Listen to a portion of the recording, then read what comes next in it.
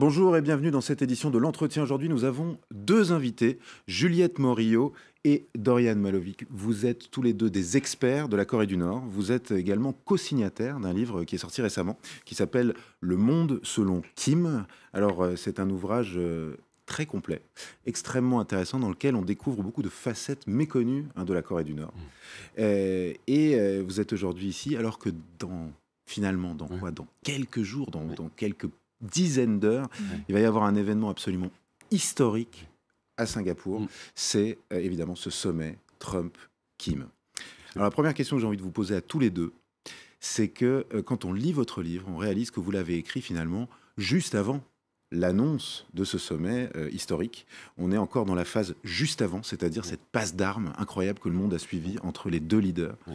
Est-ce que c'était imaginable à l'époque qu'ils se voient et qu'il y ait un sommet comme celui-là Alors, quand vous parlez du livre, euh, il faut rajouter le, euh, le sous-titre du livre qui est Guerre ou paix. Mm. C'est-à-dire qu'au moment, on était dans une sorte. On, arrivait à la fin du programme euh, nucléaire et la Corée du Nord annonçait qu'elle avait terminé son programme également balistique, puisqu'elle est techniquement capable, en tout cas avec son dernier essai, d'atteindre le continent américain. Elle avait terminé son programme nucléaire et finalement, elle avait poursuivi et atteint le but que Kim Jong-un euh, euh, s'était donné. C'est-à-dire, son but, c'était de poursuivre donc ses programmes nucléaires et balistiques et faire de la Corée du Nord, de son pays, un- une grande puissance et de dialoguer à égal égal avec les États-Unis, avec une demande de dialogue, une demande euh, de pacte de non-agression et également euh, la volonté éventuellement euh, de la fin de la guerre de Corée, de la signature d'un traité de paix. Donc au moment où on arrivait à la fin de cela, on sentait très bien que ça pouvait basculer vers maintenant, nous allons arriver à la seconde partie de notre programme, c'est-à-dire le bien-être du peuple, l'économie qui est dans la ligne politique de Kim Jong-un, puisqu'il l'avait annoncé lui aussi, avec sa politique de la double poussée. Mais, Dorian, justement, Oui. mais aussi vite Écoutez, euh, celui qui, qui aurait dit le 1er janvier, dans le discours du Nouvel An, Kim Jong-un va tendre la main à son frère du Sud pour dire je viens au JO d'hiver et je suis prêt à dialoguer et à discuter avec Donald Trump, ça, celui-là, ça aurait été un menteur. Ça, le timing, je pense que le- l'habileté euh, de la Corée du Nord, c'est toujours le timing. Ce qui, depuis des années, euh, déstabilise tout le monde, c'est, on a parlé, euh, c'est instable, inconscient, jamais calculé. Tout est hyper calculé en fonction d'un contexte, d'un moment, d'une- séquence. Et là, il tend la main à qui? À Moon Jae-in, un libéral fervent partisan du dialogue et de, la réconciliation. Depuis des années, il a succédé à deux euh, leaders sud-coréens conservateurs qui étaient très anti-communistes. Donc, il a très bien calculé. L'alignement des planètes aussi. Vous avez un Kim jeune Mm. qui lance des réformes, qui finit son programme nucléaire, un président sud-coréen Moon, libéral, prêt à tout faire, et un Trump qui finalement, aussi imprévisible qu'on veut bien le penser, a le 8 mars dit Banco, on y va. Et là, là, c'est un super coup pour tout le monde, parce que finalement, là, on y est au sommet. Et ils vont se rencontrer. Et tout le monde a gagné à ce fameux sommet. Alors Juliette Morio, justement, dans ce livre, vous, vous, vous présentez ces deux personnages, bon, bien évidemment plus Kim que Trump, parce que c'est un livre sur la Corée du Nord, Oui. mais vous posez quand même cette question, parce que beaucoup de gens disent euh, ils sont irrationnels, ils sont fous. Vous, dans votre livre, vous dites finalement non, ce, ne sont, non. ce sont des gens, ils calculent. Alors, quand on dit qu'ils ne, euh, ne sont, qu'ils sont rationnels, on ne dit pas qu'ils ne sont pas dangereux. Ils sont parfaitement rationnels, comme Dorian vient de le dire. Tout est calculé. Ils sont très fins diplomatiquement, et je pense qu'on a voulu se mettre la tête dans le sable depuis des années. Parce que quand je dis qu'ils sont rationnels, je parle de Kim Jong-un, bien sûr, mais également, on oublie, vous avez son père et son grand-père. Ils poursuivent Kim Il-sung, Kim Jong-il, Kim Jong-un poursuivent une même politique avec les mêmes buts et de façon extrêmement construite depuis des années. Sinon, ils ne seraient plus, ils ne se seraient pas maintenus au pouvoir et on n'aurait pas pu finalement arriver à une Corée du Nord nucléarisée avec des missiles balistiques capables d'atteindre les États-Unis s'ils n'avaient pas été rationnels. Cette politique, quand on l'étudie sur euh, de nombreuses années, au moins depuis 2000, on s'aperçoit que chaque pas finalement est assez indépendant de la politique internationale et très précis. C'est construit, ils ont un plan et en effet, s'il était très difficilement prévisible euh, que Kim Jong-un annonce de tendre la main finalement à la Corée du Sud euh, pour le nouvel an, ça n'en reste pas moins que tout ça ça est construit à, à long terme.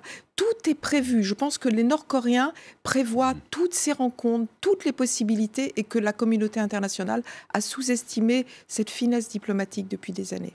Alors, à tous les deux, mais pour la dynastie des Kim, j'ai envie de dire, c'est-à-dire aussi bien l'actuel euh, Kim Jong-un, que son père Kim Jong-il, que euh, son grand-père Kim Il-sung, c'est un rêve qui se réalise quelque part, hein, d'arriver à s'asseoir face à un président des États-Unis autour d'une table et négocier, entre guillemets, alors, le, rêve, j'emploierai pas le mot rêve. Ou un, objectif. C'était un objectif. C'est-à-dire que là, les, Coréens ont un, proverbe qui dit que quand les baleines se battent, les crevettes ont le dos rompu. Ça veut dire que euh, les baleines, ce sont les grandes puissances. Depuis l'origine des temps, la Corée a été un petit peu euh, dépossédée euh, de son propre destin et le 38e parallèle qui partage Corée du Nord et, Corée du Sud.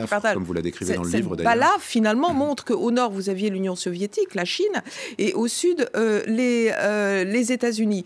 Donc, depuis tout temps, je dirais que les crevettes ont envie de parler aux baleines d'égal à égal. Et ça, c'est dans l'idéologie nord-coréenne, le fameux juche. Le juche, ça marque l'indépendance. L'indépendance en trois points. Économique, ils ne l'ont pas atteinte. Défense, ils ont maintenant l'arme nucléaire et des missiles balistiques. Mais également euh, indépendance diplomatique, pouvoir parler d'égal à égal. Oui, donc c'était un but qui était clairement affiché, qui n'a pas pu se réaliser avec Kim Il-sung, puisqu'il est mort en 1994. Euh, Kim Jong-il a pu rencontrer euh, Kim Tae-jong, euh, le président sud-coréen, mais pas de président américain en exercice. Donc c'est véritablement historique. Là, ils ont atteint leur but. Finalement, quand même, Kim Jong-un dans ce sommet, enfin je ne sais pas ce que vous en pensez, mais finalement un moins à perdre quand même que Donald Trump, non? C'est-à-dire que quelque part, mm. l'objectif pour les Américains, c'est dénucléariser la péninsule. Est-ce que c'est possible? Est-ce que c'est acceptable? Pour les Nord-Coréens D'emblée, je vous dirais que par rapport à ce sommet, Kim Jong-un a déjà gagné. C'est-à-dire, il a toujours voulu être respecté par les Américains, parler d'égal à égal, comme vient de le dire euh, Juliette Mario, et il y arrive à Singapour, et maintenant, ils vont se serrer la main.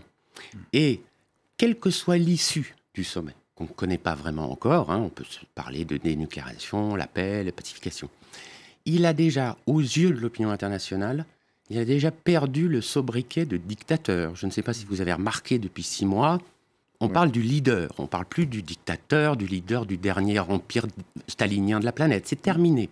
Finalement, il est apparu beaucoup plus pondéré et moins irrationnel que son homologue américain, ce qui est quand même pas la moindre des choses. Et qu'en six mois, il a réussi à s'installer, tout le monde le courtise. Donc ça, c'est un, point. Sur la dénucléarisation, personne n'est dupe.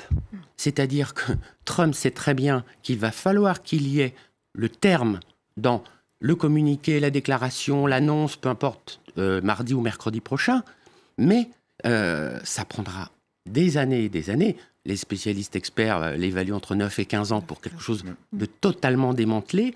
En même temps, d'ici là, si des gestes et des actes concrets que Kim Jong un a déjà commencé à faire, se poursuivre cran par cran et qu'à chaque étape, on assouplit des sanctions unilatérales ou des sanctions onusiennes, c'est déjà euh, un, progrès et c'est gagné pour lui.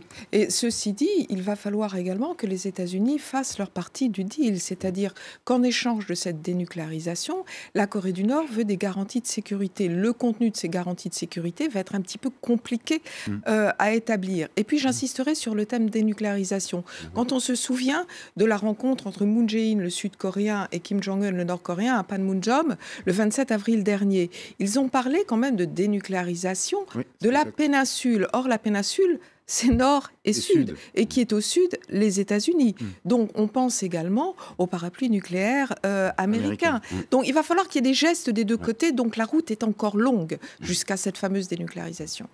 Alors il nous, reste, il nous reste très peu de temps, mais je, voudrais que vous me parliez aussi d'un autre euh, phénomène. Vous dites, la dernière phrase de votre livre, c'est on a probablement affaire à deux bluffeur, à moins parfait bluffeur. Est-ce que c'est pas ce qu'on est en train de voir aussi? C'est-à-dire que le dernier pas de deux qui a eu lieu avec donc effectivement provocation nord-coréenne, annulation formelle de Donald Trump, retour des Nord-Coréens. Mmh. Ça va se passer comme ça cette négociation? La culture nord-coréenne, ça passe comment ce genre de choses? C'était un choc, c'est une partie de poker qui démarre là? Ah, elle, Je pense qu'elle a démarré l'année dernière. Mmh. Parce que les deux qui vont se rencontrer dans à peine euh, quelques heures, ils se sont jaugés pendant un an. Euh, qui est le plus fort? Qui va tenir? Personne n'a perdu son sang-froid. On était au bord de la guerre, conventionnelle nucléaire, c'était une possibilité. Mm. Personne n'a craqué, si j'ose dire. Et, maintenant, peut-être que, contrairement à ce qu'on peut imaginer, ces deux personnalités vont plutôt bien s'entendre et se retrouvent sur des, je veux dire, sur des critères et des canons de discussion qui peuvent être beaucoup plus euh, proches que ce qu'on imagine. Alors maintenant, on est prudent jusqu'au bout, on est toujours prudent. Ceci dit, euh, c'est vrai que là, quand on parle prudemment à la fin du livre que ce sont des bluffeurs, c'est qu'on est à cette époque au, bord éventuellement d'un conflit, et mais là aussi, il, il, bluffe aussi, mais là, il bluffe en sachant que l'autre bluffe aussi, hmm. et qu'on parle de marché de dupes sur le dénucléarisation.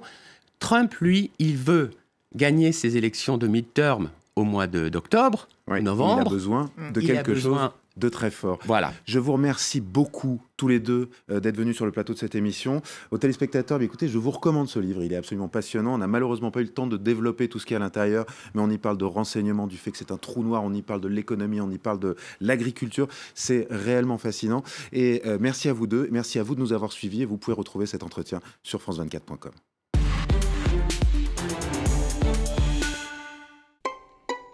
Retrouvez la météo avec La Forêt. La forêt estime votre bien